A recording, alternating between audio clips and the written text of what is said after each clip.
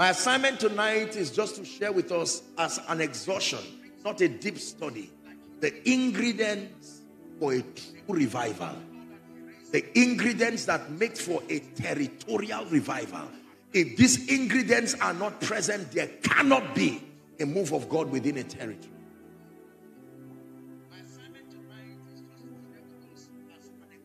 You desire to see the move of God in Onitsha.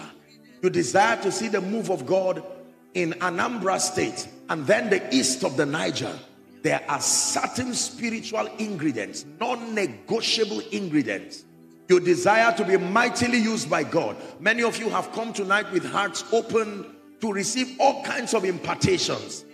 Usually when you find men who are unusually graced, people say these are anointed men of God, these are graced men of God, but there are spiritual requirements. And I hope that within the few minutes that I have to share with you as we prepare to pray that God will place in your hands the keys that really sponsor the move of God in terms of personal revival and territorial revival. Why? Because there are many of you seated tonight. The destiny of the move of God within your land is upon your shoulder. And you have to understand this. Are we blessed? There is a reason why people never see the move of God past religion, past church as we call it. There is a reason why it looks as though in a whole generation, God may just find one, two or three people. It's not his intent to just have such few people. It's not only his desire that all men be saved, it's also his desire that all men rise to the fullness of their potential. A man of God would say, in Christ, everybody has a high calling. There are no low callings in Christ. But I think, respectfully speaking, one of the deceptions that has permeated the body of Christ is the fact that there is no price to be paid to be used by God. Anything of value comes with a price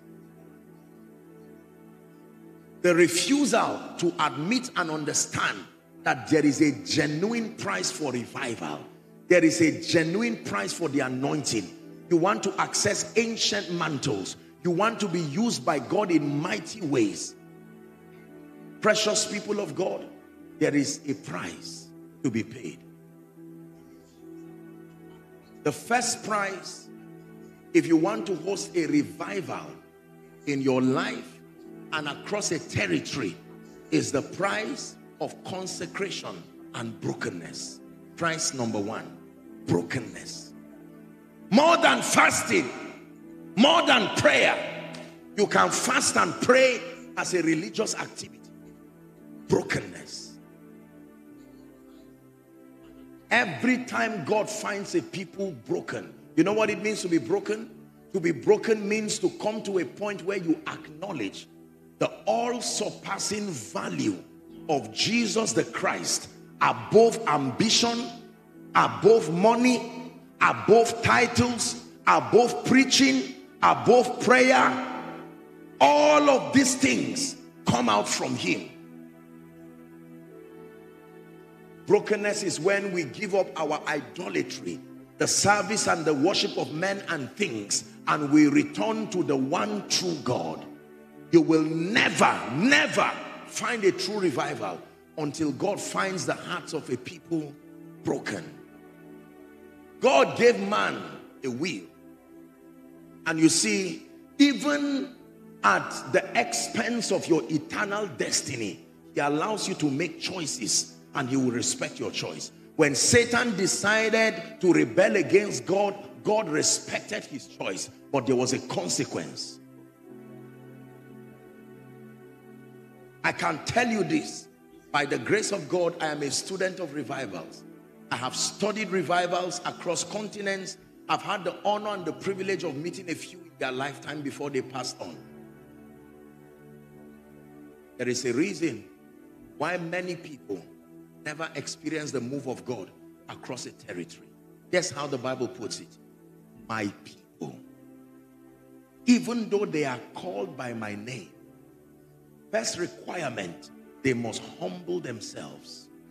Very hard for man to humble himself because we are like the Laodicean church.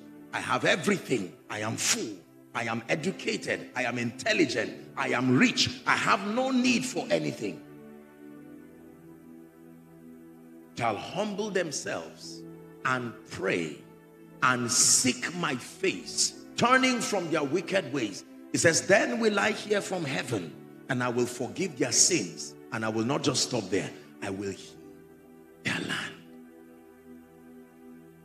You want to see a move of God in your family, your jobs, your businesses. You want to see repentance from idolatry and the worship of other gods. It takes hearts that are broken and contrite. It takes broken hearts, not men of God, to bring a revival. You can be a man of God, but if you are not broken, you will never. You see, we live in a world and we live in times where, for many of us, Jesus is just the wisest option among the many options available. So whilst we choose him, we still keep other options, hoping if there be a rainy day, Jesus, then I keep my intelligence, I keep my idols, I keep my pride, and I watch what happens.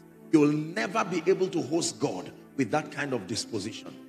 The jealousy of God will not allow him to be with anything in your life.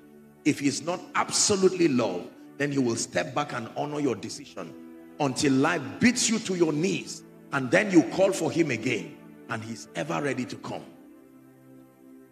Most times, you see, people fast and pray, but they just do it for the religiosity of it in hope that they will bribe God by that spiritual activity into releasing power upon them and upon their territory. The motive is already corrupted from beginning. There is a state of man's heart that makes brokenness very necessary. Jeremiah chapter 17, please. We'll read from verse 9 and 10. Jeremiah chapter 17, please help us, media. This is just an exhortation. Jeremiah chapter 17, we'll read from verse 9 and 10. Please read with me. It's projected if you can see. Let's read in concert. Ready? One to read. The heart and desperately wicked. Please keep that scripture there. We'll go shortly to the next verse. This is the, a verdict from the mouth of the Lord that the heart of man, no matter how sincere it looks, that there is a component in the heart of man that if not vetted by God, there are tendencies in the hearts of man. You see, the way the tendencies of the flesh work is that they require atmosphere and opportunity to manifest. Just because they have not manifested does not mean it is not there. You may never know that you have pride. You may never know you have lost. Just because an opportunity has not provided for the manifestation of that state, it does not mean it is not there. Who would have known that a young innocent shepherd called David will be the one to kill someone tomorrow and carry another man's wife, you would have looked at that young man. That is the kind of young man who all want to be a pastor in your church. That is the kind of young man every lady here would want as a husband. However, that was a murderer right there in that bush. So before you surprise yourself, God says, come, let me vet you. And you say, Lord, based on my parameters, I think I am all right. And he says, you need to understand something. There is no process of time with me. I am both Alpha, Omega. I see tendencies. So before you destroy what I want to do with you, come and submit yourself and let the maker make you. The heart of man. You don't have to be wicked. It is a state of the fallen man. You never knew that titles matter to you until the day they gave you one. And then someone forgot to call you that title. And you are even surprised yourself. Wow. So this is the reason why I can't sleep. You never knew that money can mean a lot. When you are poor, don't say you are humble. You don't have anything to, to, to contrast pride with. You see. For instance, there are no limits to the tendencies that are in the hearts of men. So every time we come to God, Lord, anoint me, use me. He says, I want to use you, but not this version of you. There is something I must do to you. I must make you. I must break you. Isaiah chapter 6 and verse 1. The first five chapters, we see a true prophet of God, not a fake prophet, not a false prophet, called Isaiah. He began the book of Isaiah by prophecy. Isaiah chapter 6, please, verse 1, and then we'll return back to this scripture to wrap it up. The first requirement for a revival, both personal and territorial, brokenness. From chapter 1 to 5, we see him prophesying. If you are told Isaiah as a man of God that something is wrong with you, he will insult you and say, go and look at the track record of my prophecies and all that I'm doing. But then the Bible says in chapter 6 and verse 1, in the year that King Uzziah died, it says, I also, I saw the Lord. Isaiah saw the Lord sitting upon a throne. He saw the train of his robe. Because in ancient times, the length of the train of a king's robe was a reflection of his majesty. And in this case, he said the train of his robe filled the temple. And then Isaiah was broken by himself. And here was his verdict, a prophet. He said, woe is me I am undone. This is not condemnation. This is awareness in the presence of the Holy God. You know you have met God when you see something to change in your life. If you claim you met God and you go back with nothing that requires change, it's not the God of the Bible you met. This is where I have a problem with many, many supposed divine encounters. I have met Jesus. I will share with you my story. Let me tell you, if the Jesus of the Bible appears to you, it will take you more than one year to be back as a normal human being again.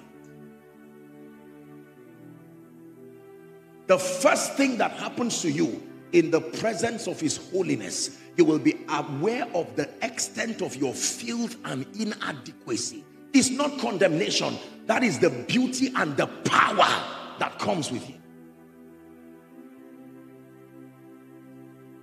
Are we blessed?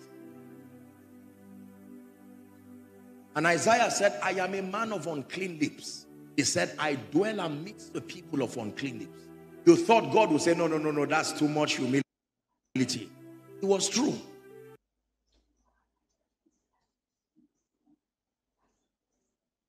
And he picked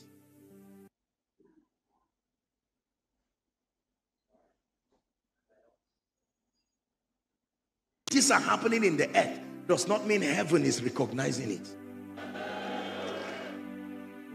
Just because conferences are happening, Apostle Joshua Selman moving around and preaching does not mean heaven is recognizing it. This is where the deception of ministerial activities destroy people. You can be advancing, men can be clapping, and heaven is still saying, Who shall we send? Who shall we send? Who shall we send? Oh, I'm a great man of God. Who shall we send? And for the first time, Isaiah realized that he was just doing his thing. He said, here am I, and me.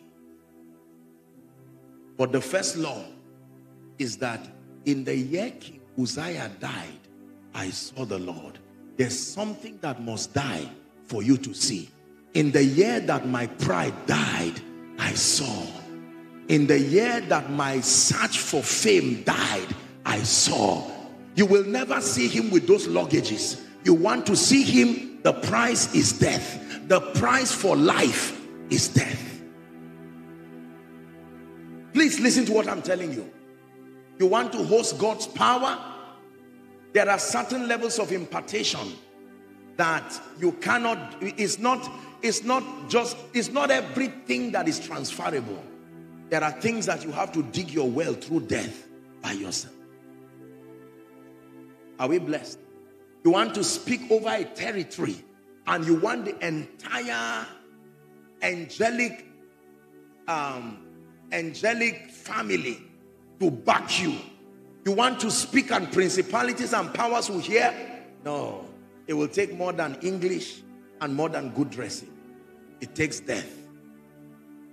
You ask the sons of Sceva. They most likely have attended a few lectures and a few conferences. And they said, we adjure you by Jesus whom Paul preaches. Brokenness. Listen to me. Brothers and sisters, God is calling us to a higher and a deeper level. Brokenness where at the end of it, all you want is Jesus. Not church, not man of God, not titles, not fame.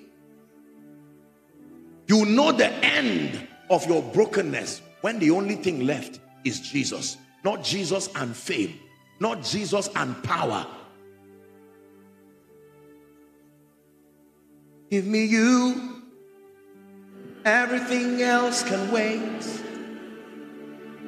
Give me you. I hope I'm not too late. Lord, give me you. Lord, give me you. Lord,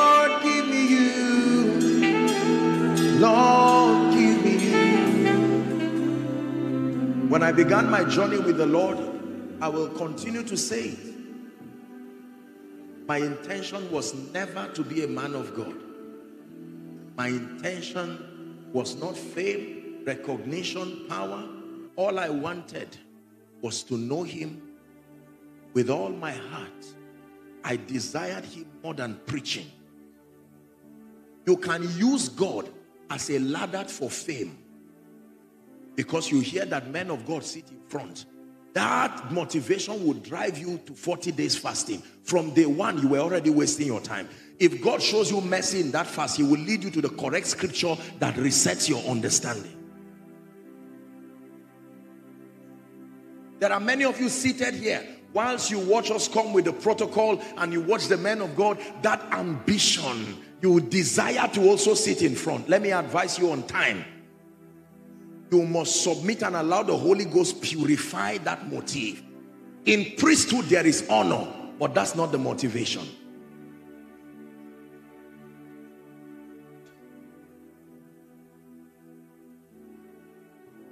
Till today until forever, I love him more than preaching. I love him more than fame. You've heard me say it. I will cancel ministry 1,000 times. Preserve my relationship and his presence. There is nothing in my life, and may God forgive me if I'm lying, but there is nothing in my life today that I cannot surrender to him. Absolutely nothing in a heartbeat. And you believe me, this man standing before you, these things have been tested. God is not a fool. When you speak like that, he will test it. Abraham, take now thy son, thine only son whom thou lovest. Go and offer him mount. You get the glory. You get the praise. You take the honor. I just want to say thank you. So in my life, be glorified.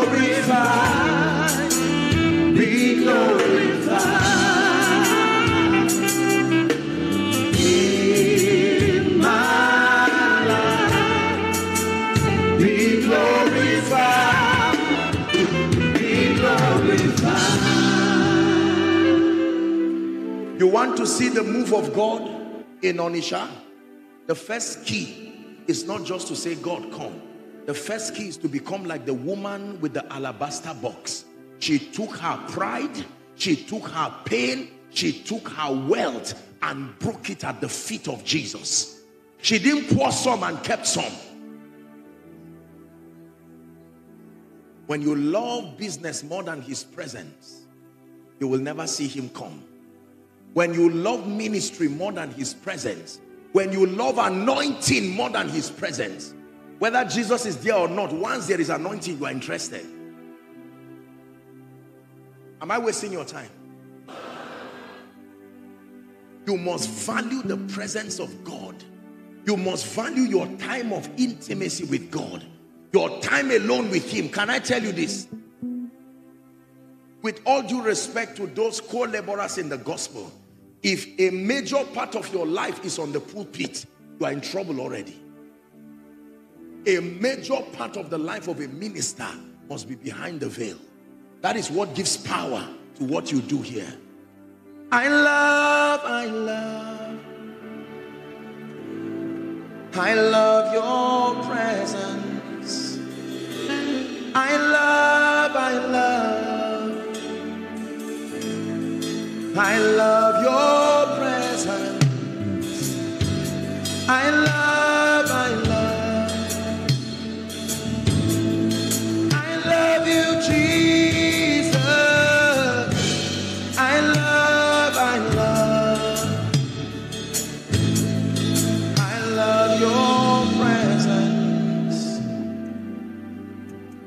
This was how I began my pursuit.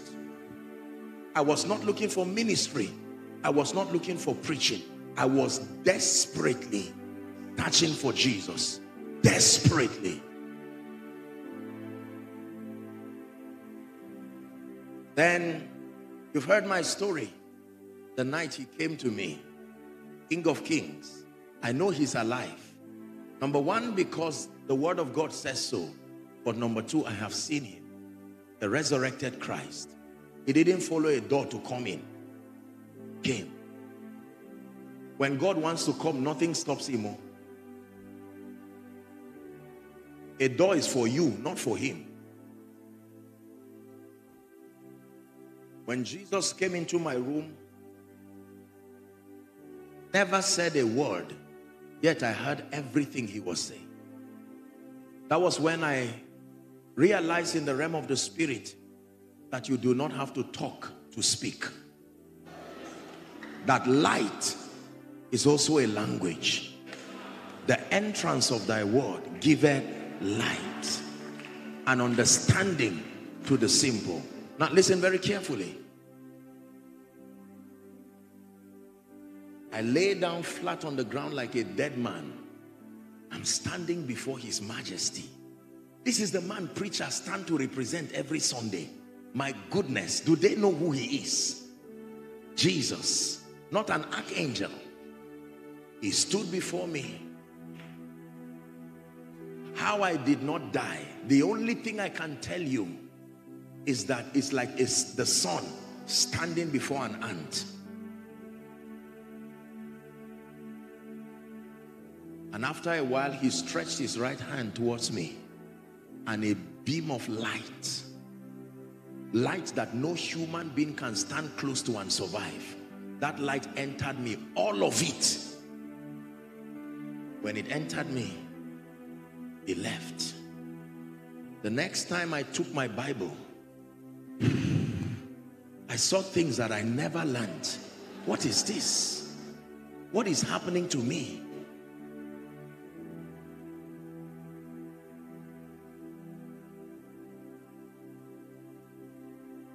Your grace has found me just as I am.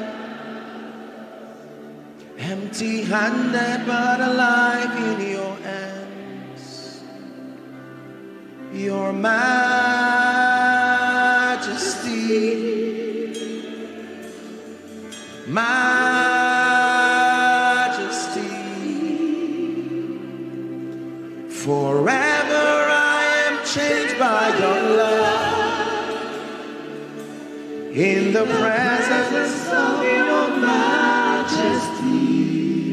I share this with you for a reason. It's not to brag. Because many of you, I'm explaining to you the encounters you have been having.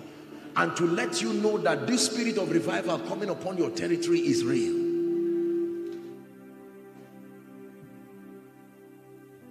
Elas Gabarusia. I have met many of the saints that have departed.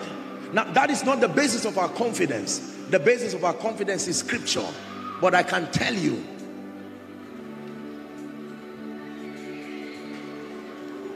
in one of the encounters, the Lord came to me and said, Son, from today I give you my presence as a gift.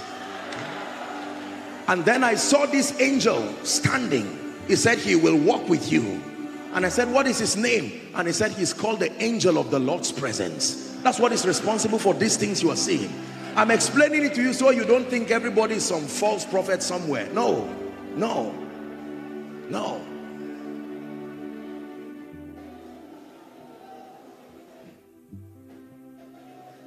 But it takes hunger. In one of these encounters, I was speaking with a man who came to me and he was talking to me. And when he was done, he turned and was going. And I called him, I said, sir, you did not tell me your name. He turned back to me and smiled and said, Paul. And he turned and kept moving.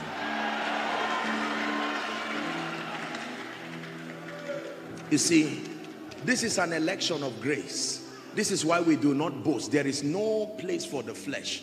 You know it is God that is transforming you because it leaves a deposit of humility in your life. You are aware of your sheer inadequacy outside of his help.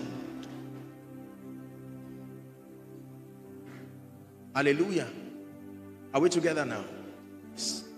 So when you hear Apostle Joshua Selman, it's not because there is anything in, our, in, in us by our own strength. Our sufficiency is of Christ who has made us able ministers. Able ministers. Hallelujah. Are we blessed now? So the first key is genuine brokenness. You must get to a point where you love God more than money. Not just that you heard that when you come to God, you make clean money. So you came to him because you don't want to make dirty money. It's still idolatry. If he asks you to shut down your business for his presence, can you do that? Hmm. If he asks you to shut down your reputation for the sake of his majesty and glory, can you do that? Sorry about that. If it's not in your presence, if it's not from your hand, If it's not by your spirit, don't let me have it. For everything I need is in you. If it's not in your presence, if it's not from your hand, if it's not by your spirit, don't let me have it.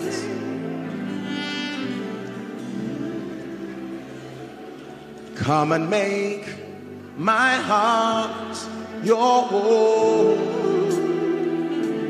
Come and be everything I am and all I know. There's a prayer now. Will you search me true and true till my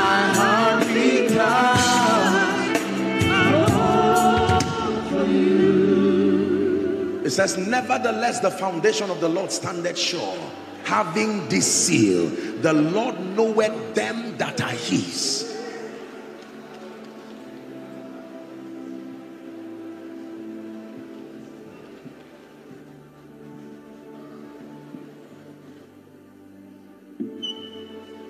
Everything. You're my treasure, my priority. Who can compare to you? Great is the measure of your royalty, O morning star. You the earth, everything everything. Lord, you are everything. Hear me, man of God. You want God to do much with you? Forget about ministry and focus on his presence. That's how to be in ministry. You must love his presence more than preaching.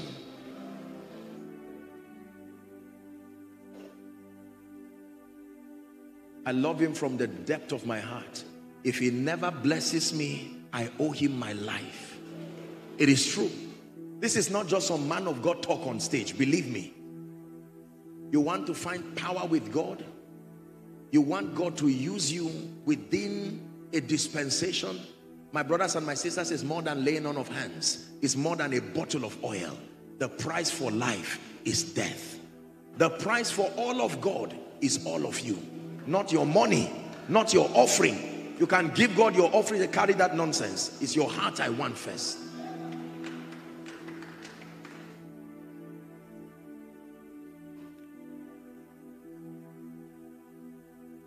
This is the key that controls superior dimensions of the power of God of revival. Onitsha hear me until God finds men and women who can be broken, men who can hold on to the four horns of the altar without shame and say, Lord, this is your boy coming to you. They call me their man of God, but your boy is here again. I'm right here where you met me before you lifted me. No matter the lifting, I'm not stupid. I still realize. And God says, you are doing this for me. You are ready to step into another level.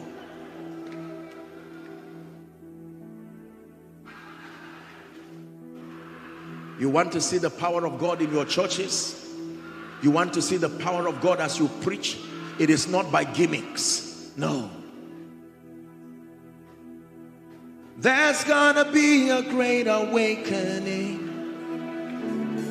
And There's gonna be a great revival in your land. There's gonna be a great awakening. And everyone who calls on Jesus, they will be saved. Hear me? Every time the move of God is about to happen in a territory, there are two spirits that are always released within that territory, personified in two men. Number one is called Enoch. Enoch represents the spirit of intimacy and hunger. It says, and Enoch walked with God, the seventh man from creation Genesis chapter 5, I believe, and verse 24, thereabout. Enoch walked with God. Not Enoch built churches. The greatest testimony is that Enoch walked with God to the point where he was not.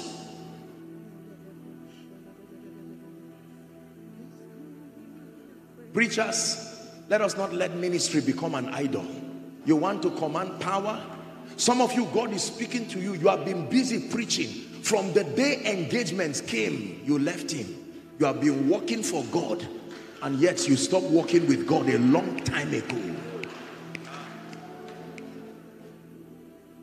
Many of you, your prayer groups, intercessory groups, you started as men with hunger at the back of a tree. But now that they've identified you, you started preaching here and there you don't care. It doesn't matter. Let me move my destiny forward, you say.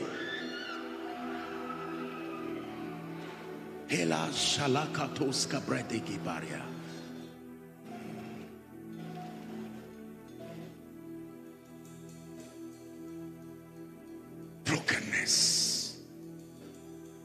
God is calling you. There are many of us to repent is not a word for sinners to repent is how we are transformed. Realign back to the standard. Many of you are crying. Don't be ashamed of your tears. I want to tell you what happened in your city by prophecy. While men slept, the enemy came. He cannot sow when you are alive. He said, awake thou that sleepest. While men slept. You know how people sleep? Satan occupies them with activities that are outside of Christ. Just keep making the money. I'm not saying there's anything wrong with that. Just keep making the fame. Just keep adding credentials. And then the enemy steps in and begins to plant seeds. Seeds of rebellion. Seeds of spiritual laxity. He discerns that there is a family that should carry the next prophet over Onitsha and very quickly he plants a seed in that young man. Some of them the devil destroyed their destiny by sending them abroad. They had no business going anywhere but he relocated them fast. They called it breakthrough. Like Saul of Tarsus they went out of the will of God. Can I tell you this? Look at me one of the reasons why God is organizing this conference this year you may not know he's honoring the cry and the covenant of those who died serving the purposes of God. You are the covenant keeping God. You are the covenant keeping God. Listen your territory is full of the history of men and women who live for the gospel. Some of them died and never had that reward. That is the burden that came on this man. Is you sometimes you don't even know what is moving you. And God says no I must find a witness in Onitsha. The blood of someone is speaking and say Lord arise. There has to be a move of the spirit. The anthem of our nation says that the labor of our heroes past shall not be in vain there are missionaries who serve God they never tasted of the honor of priesthood and they went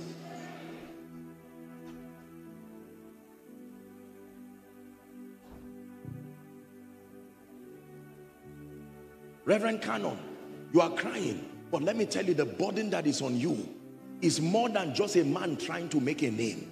It's prophecy. Many of you here, you are walking. You just think you are moving, but there is an ancient prophecy driving you. That thing making you not to sleep when others when others are sleeping, you cannot sleep. Is more than you. Is more than an ambition. Is prophecy Enoch is crying within your territory the spirit of intimacy. Where are the men and the women who will hunger after God?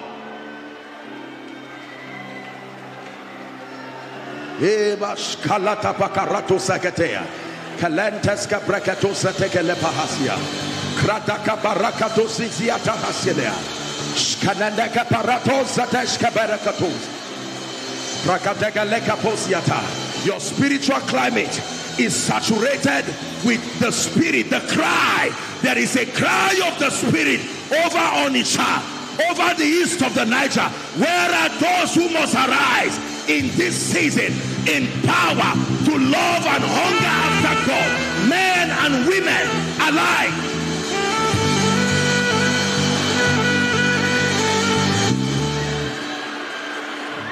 Oh,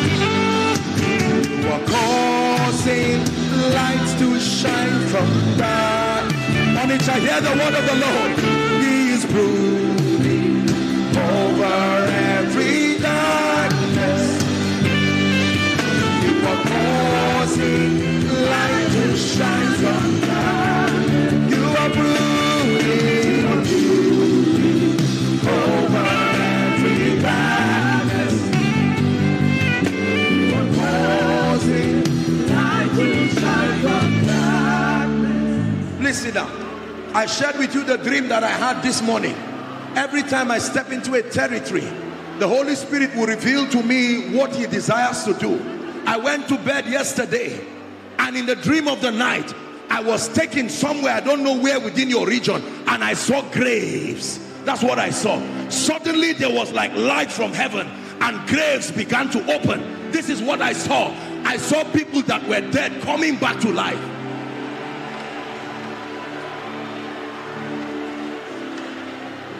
Your city will not only be known for business, it will be known as carriers of fire. There will be restoration of mantles and graces. It's not only buying and selling. No, fishers of men, makers of destinies.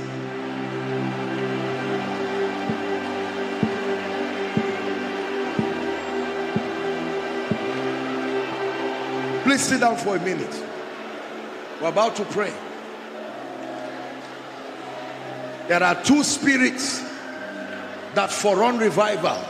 Number one is Enoch, a representation of hunger and passion and fire. The second spirit is Elijah, the spirit of prayer and supplication that restores the ordinances of God and the patterns of God again. He said, before the great and terrible day of the Lord, Elijah will come again. When John came to forerun Jesus, he came in the spirit and the power of Elijah.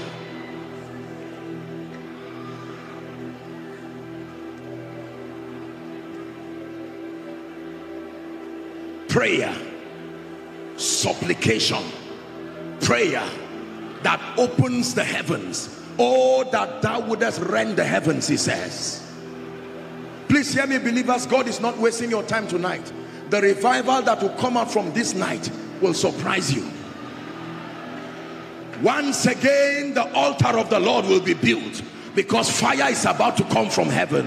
When the prophets of baal tried from morning till night the Bible says when it was the time of the evening sacrifice, Elijah said, build me with 12 stones. Let me remind God of his covenant.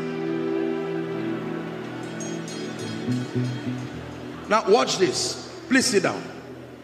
We have to pray because I need to minister to you now. We have to work with time. Just a few minutes and we're done. I don't intend to keep you. Hear this.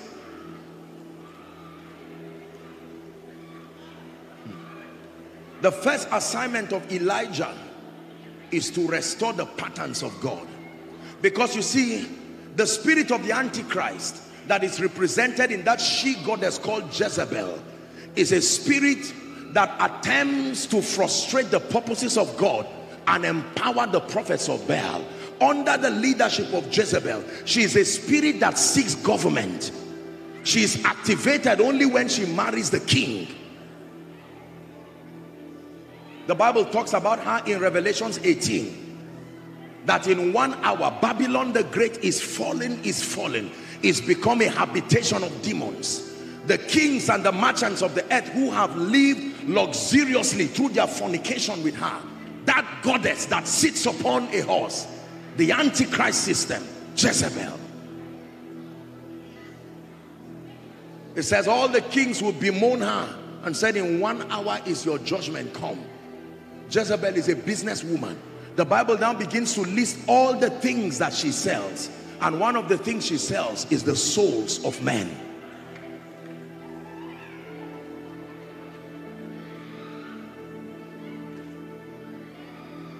Hear me. There must be a restoration of the spirit of prayer within your territory. There must be a restoration. Those of you who are on campus, Read your book, study, but in addition to your study, don't leave God behind. Anything minus God is nothing. There are families right now hearing me, and I'm speaking apostolically. Go back and restore the altar of prayer again. Before you made it, you prayed in the night before you slept.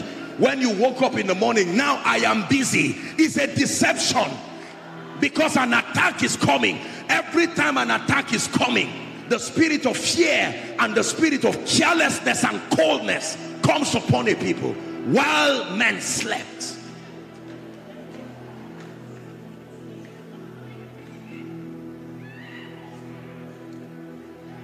For some of you this is not how you started with God.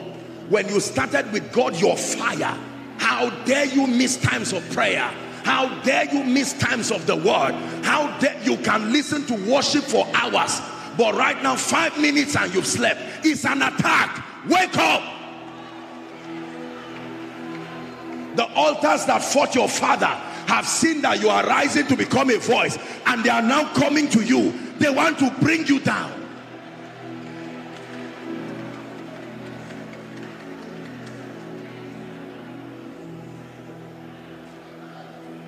Elijah,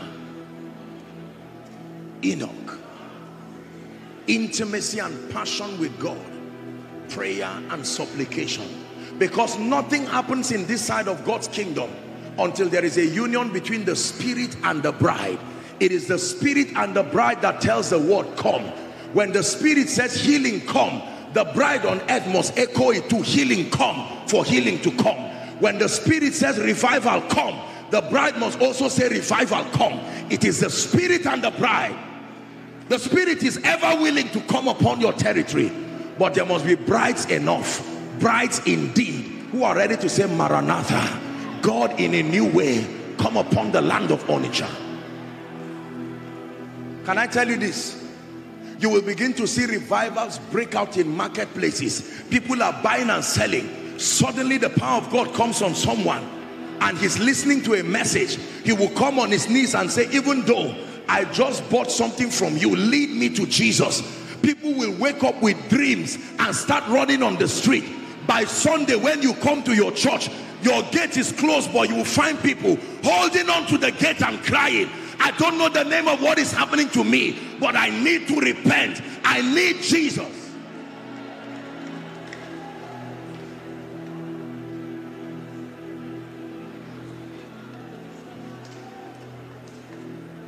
Please hear me. Please hear me. We're about to pray. I may not be able to mention all the other ones because our time is gone. But sufficient is the charge for tonight. We need a restoration of hunger and love for God.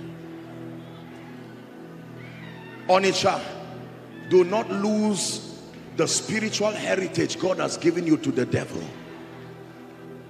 You now see that when your spiritual life goes down, it's a matter of time your business will start having issues. Issues you can't explain. You are losing money anyhow. You are not even explaining. Someone is cheating you. Someone is defrauding you. They are all symptoms of something that is going wrong in the realm of the spirit. I've come like I said to join faith with all the fathers within the land all the veterans of the gospel and together we are going to lift up a banner that says Jesus is still king over Onitsha. And this night we will announce to every devil, Onitsha is not an idol worship place. Anambra is for Jesus. And every home is for Jesus. Thank God for what the fathers worship. But here comes a generation that only believe in the name of the Lord Jesus Christ the son of the living God.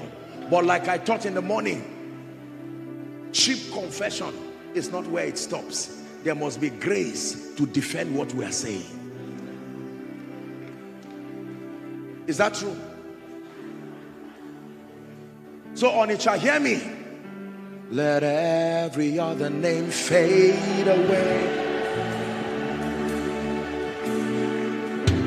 Let every other name fade away till there's only you. Let every other name fade away. Jesus, take your place. Jesus, take your place. Four things will happen now very quickly. Number one, listen carefully. I requested by the Spirit that we bring our prayer requests.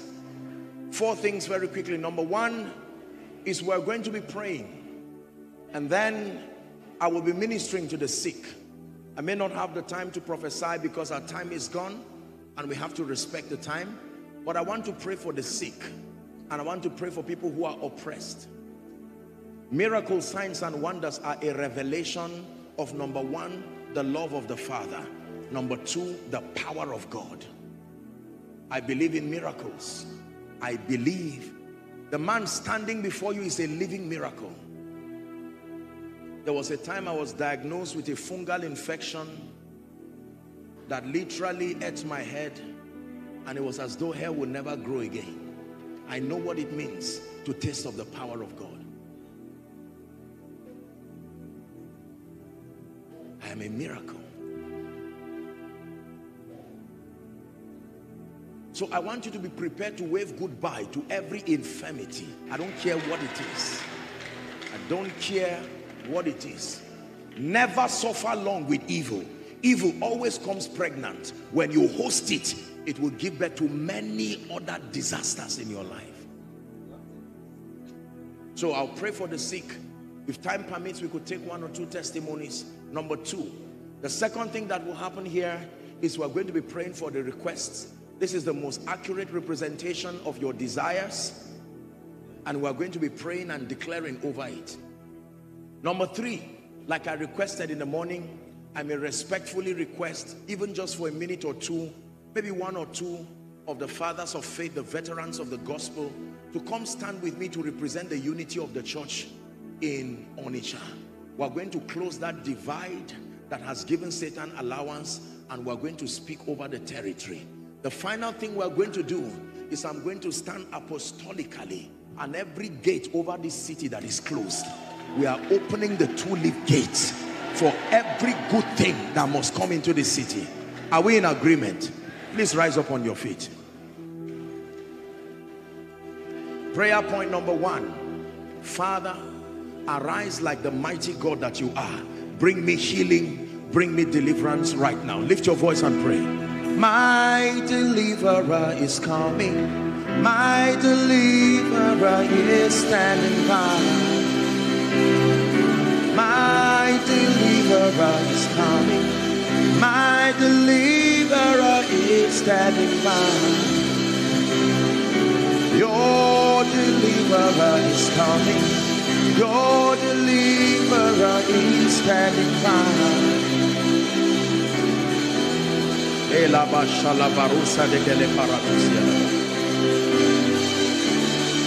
Give me an encounter tonight in the name of Jesus. Give me a supernatural visitation. Hallelujah. Now listen. Acts chapter 10, please, and verse 38. I'm about to pray for the sick now. Acts chapter 10 and verse 38. It says, How God anointed Jesus of Nazareth Peter is teaching the first message preached to the Gentiles. This will be the first salvation of the Gentiles. This was in the house of Cornelius. How God anointed Jesus of Nazareth, it says, with the Holy Ghost and with power. The Bible records that he went about doing good. It takes the anointing to do good. It takes more than a good heart. Went about doing good, listen carefully, and healing not they that were sick, they that were oppressed. Every sickness is an oppression. Every sickness. Hallelujah. Now I want to pray. Listen very carefully, please. Wherever you are trusting God for a miracle, all through this magnificent theater and um, so many outside, I'd like you to lay your hands there right now. If it's a part of your body you cannot touch, just make contact with your chest. Go ahead. Now arise, oh Lord, would you come to your resting place? You and the ark of your might. Then we will rejoice as we clothe in your righteousness, we celebrate your love. Listen, I want you to